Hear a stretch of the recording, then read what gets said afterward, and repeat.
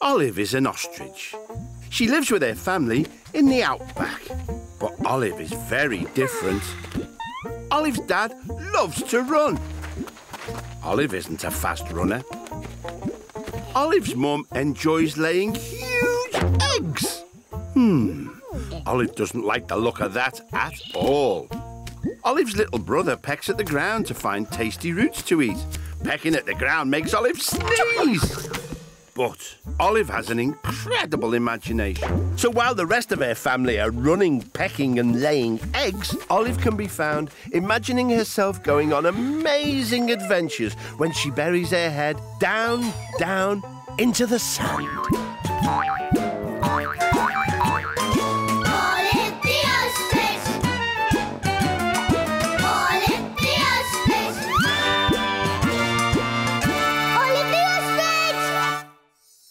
Until she popped up somewhere new. Olive was standing in a big science laboratory, surrounded by test tubes filled with colourful, bubbling liquids. She wore a white lab coat and a big pair of safety goggles. Suddenly, she heard a voice. Ah, no, no, no, no. What is the answer to this problem? Olive turned around and saw a small man in a lab coat. He was muttering to himself and staring into a microscope. Hello, I'm Olive. Ouch, you startled me. I am Professor Comeover, but you can call me Hair Comeover.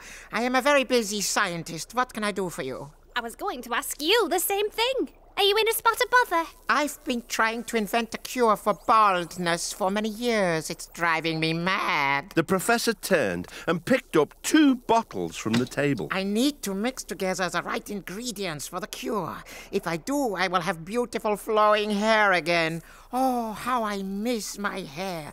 Look, this is me when I was younger. Handsome, eh? I just can't find the right ingredients. I don't know much about ingredients for your cure, I'm afraid. Then Olive spotted something in the corner of the lab. Hmm, a mop. I think I may have an idea. Close your eyes, hair comb over. Professor Comeover closed his eyes. Olive pulled the handle off the mop and stuck it on top of the professor's head. You can open your eyes now. The professor looked in a mirror. I, I look like my great aunt Brunhilde. He shrieked. I don't want this. I want to grow my own. All right, keep your hair on. Look, if you really want to help, uh, I need you to get that big blue book down from the shelf. Well, this book can't have been open in a very long time. It's covered in dust. Olive opened the book and dust flew up everywhere. And Olive couldn't help sneezing. Achoo! The sneeze made her fall backwards into a shelf filled with hundreds of bottles. One of them toppled over and poured orange liquid into a beaker of purple liquid on the table. No, wait, that's not good. Cried the professor. All of a sudden, there was a huge bang. I don't believe it. It's a miracle. You did it, Olive. You found the cure for baldness. You're a scientific genius.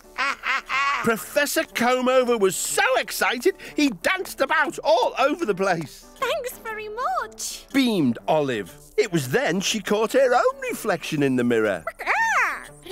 Well, I like it, but this huge hairdo could take some getting used to. Hey, would you like me to style yours a bit? Why not? replied the professor. Using a comb and a pair of scissors, Olive went to work styling the professor's new hairdo. What do you think? Uh-huh, uh-huh, uh-huh. Thank you very much. Well, it looks like you won't be needing to read this dusty old science book anymore. Oh no, I'm going to. Achoo! I've lost all me hair. Oh well, here today, gone tomorrow, eh? They both laughed. And as they did, Olive realized it was time to go. Typical Olive, daydreaming again. Said her mum. Actually, I've been helping cure baldness. Your head's been in the sun too long, dear. Said Olive's dad. Her little brother laughed. but Olive wasn't listening. She was already dreaming of her next big adventure. Olive's feet were buried in soft yellow sand. It was very hot and sunny, Greg, where am I? said Olive. She could see three huge triangular shaped buildings in the distance. Olive was so busy looking at the pyramids, she didn't notice the huge hole in the ground and fell right in. Olive picked herself up. There was someone in the middle of the hole, digging deeper and deeper into the sand. Hello? Hello? Called Olive. The digging stopped, and a small mole popped his head up and squinted at Olive. Hello? Who's there? I cannot see you. Complained the mole. Hello, I'm Olive. Nice to meet you. I'm Horace Molius, archaeologist extraordinaire. Welcome to Egypt. Egypt? How exciting! But what's an archaeologist? An archaeologist is a discoverer of old things hidden underground, but today I'm just trying to find my mummy. Explained Horus. Oh, I've heard about these ancient Egyptian mummies that have been buried in the sand for thousands of years. I'd love to see one for real. Oh, um, why are you throwing all of these treasures away? Olive pointed at a pile of sand containing lots of sparkly gems and jewels, Oh, what treasure! said Horus. Olive held up a crystal, and Horus had a really close look at it. Oh, you're right. Said Horus. I can't see a thing. I've lost my glasses somewhere in the desert. Olive looked around and had a think. Hmm, shiny crystals. An old whip. I think I may have an idea. There you go, Horace. Said Olive. She had tied the whip around Horus's head, looping two crystals on it to make a pair of glasses. Oh, I can see! I can see! Horus cried. He was jumping for joy. But Horus's jumping had loosened the ground. It started to crack beneath their feet. Olive and Horus fell through the ground and disappeared.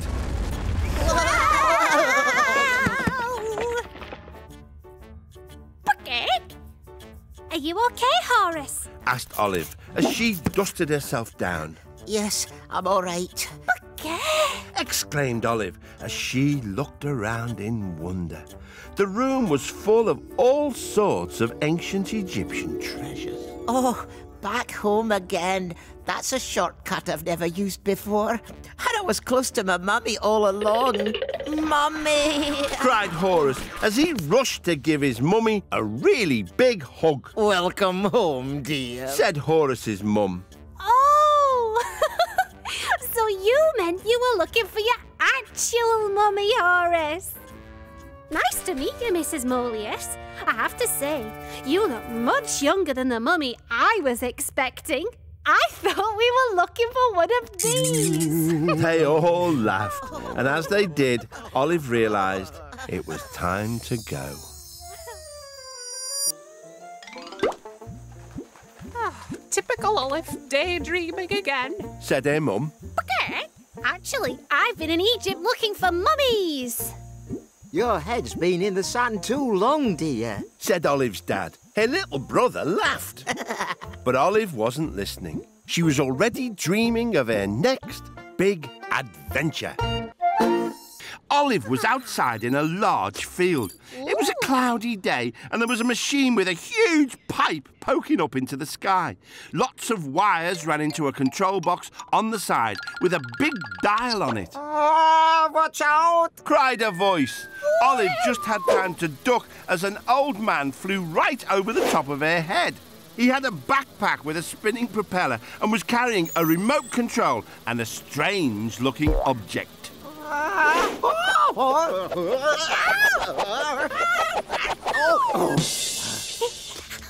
Oh, are you okay?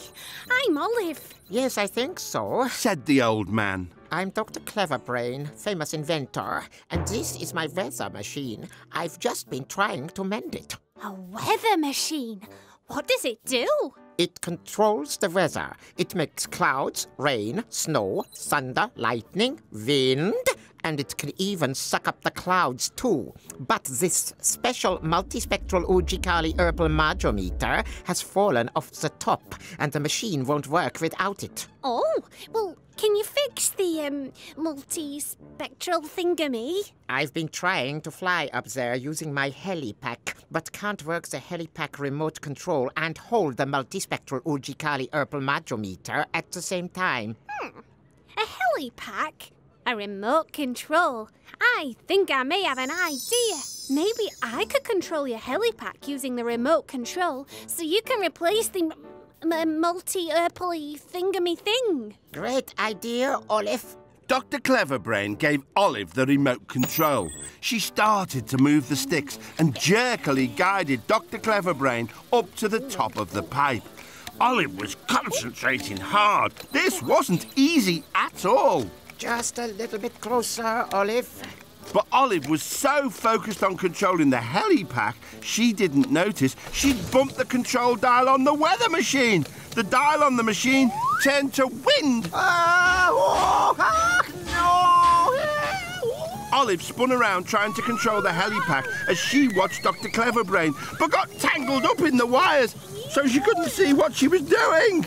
Who turned out the lights? The weather machine made lots of oh, oh, rain. Oh, oh, nine, nine. Then suddenly it made a thunderstorm. Ah! then a snowstorm. Oh, And finally it sucked up all the clouds in the sky, along with poor old Dr. Cleverbrain. Then there was a bang and a clatter, and Dr. Cleverbrain came flying out of the doors at the bottom of the machine. He helped untangle Olive. Oh. We fixed the machine, Olive, just like new. Olive looked up and saw oh. all the weather shooting out from the machine into the sky. In one place, it was snowing. In another, it was raining. And in another place, there was a thunderstorm. And right above Olive was bright sunshine, making a beautiful rainbow. Looks like it'll be hard to forecast the weather today. Chuckled Olive. They both laughed. And as they did, Olive realised it was time to go. Ah, typical Olive daydreaming again. Said her mum. Okay. Actually, I've been using a weather machine to make weather. Your head's been in the sun too long, dear. said Olive's dad. Her little brother laughed. but Olive wasn't listening. She was already dreaming of her next big adventure.